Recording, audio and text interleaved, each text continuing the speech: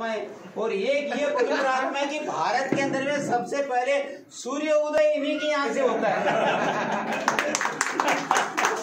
भी कहाँ कहाँ से देखे हमारा अहो भाग्य इसीलिए हम इस हैदराबाद का भाग्य नगरी नाम सही रखे हैं। और हमारे सबसे बड़ी बात है कि हमारे हैदराबाद की सबसे बड़ी पवित्र आत्मा है हमारे काका जी जो। हंड्रेड इयर्स पार कर चुके हैं। एक सौ एक साल के। आप दोनों का स्वागत करते भाई साहब एक बार परिचय करा दीजिए हम नए लोगों से इनका। हाँ तो ये हमारे राम बाबू जी गुप्ता केसरवानी। इनका साहित्य साहित्य माने सानिध्य मेरे को चेन्नई में भी मिला। 2000 का स्वामी जी का प्रोग्राम था उससे पहले से।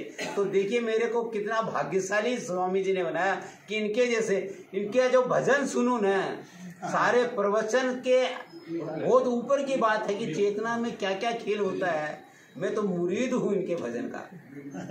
तो ये देखिए, अच्छे लोगों को अच्छी बातें वो दिख जाती है कि नहीं दिखती मालूम है लेकिन जो अच्छे होते हैं उनको अच्छा ही खाली दिखती है। सही बात है। मेरे को लगता है कि ये कभी कभी हृदय है और इनके जो शब्द हैं वो एक एक हम लोगों के आशीर्वाद ही है हमारे लिए।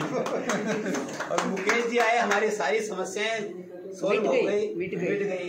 बहुत बहुत स्वागत है स्वामी जी का कृपा है जी। बहुत बहुत स्वागत। आइए काका जी आइए। इनका पहले आए नहीं, नहीं, ये मुकेश जी साहू इम्फाल से आए हैं। सबसे पहले सामने आइए सामने अरे काशीराम जी गए। और सुशील अन्य जी। तो स्वागत करें ना ये मुकेश जी स्वागत सम्मान किए वहाँ पे इम्फाल में। अब नहीं। आओ बेटा आओ ठीक है।